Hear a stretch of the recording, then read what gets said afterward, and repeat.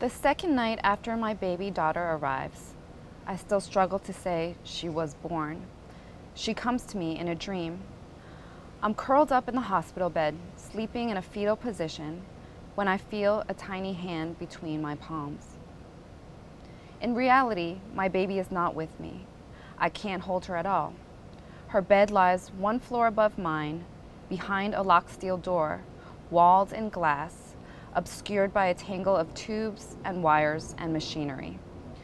What little there is of her to look at, I can hardly bear to see. When I manage to look, the thought that grips me is this she isn't meant to be here. Let her go. She weighs one pound nine ounces. She can't cry or nurse or breathe. Her head is too large, her ears barely formed. Her legs look like those of a decrepit old woman or a starving child, the skin shriveled and sagging over twigs of bone. Her skin is purplish red, bloody, and bruised. One doctor, visibly shaken, describes it as gelatinous.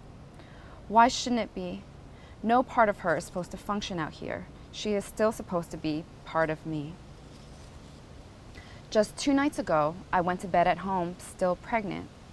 25 weeks into a perfect pregnancy until 4.30 a.m. when I woke up in acute pain.